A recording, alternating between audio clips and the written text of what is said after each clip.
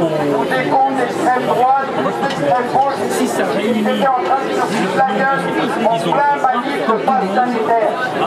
Encore une fois, je vous demande, mettez la politique de côté, ça une cause, à tout le